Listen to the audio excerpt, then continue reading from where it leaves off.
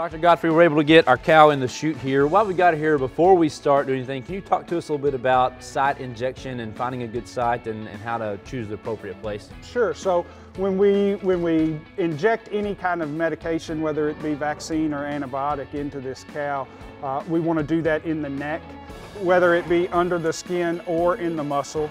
Um, when we're, when we're trying to find a location to do that, we have a specific triangle on the neck of the cow that we like to do that in. As you'll see, this cow is somewhat pushed up in the chute and we can see her shoulder right here. Um, so we want to come in front of her shoulder. The Okay. great thing about this chute is that we have neck extenders uh, and it gives us the perfect location to make these injections. So we come in front of the shoulder, Okay. we come down from the top of the neck about a hand's width. There's a ligament that runs right here that we don't want to inject into. Okay.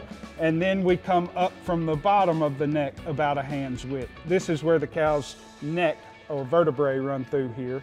Uh, and we give the injection in this triangle region. Okay. Can you tell us a little bit about why that's such a good area for us to be injecting into? Yeah, of course. So um, the advantage to injecting in the neck is that this is the least desirable cut of the whole cap.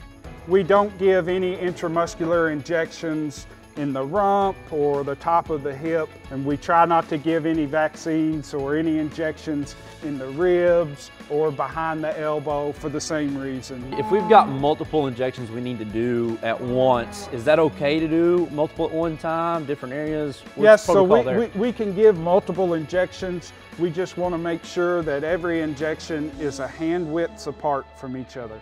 Three to four inches, this is a good rule to Okay. use. So we, we give one injection here, we come a hand's width away and give another injection here.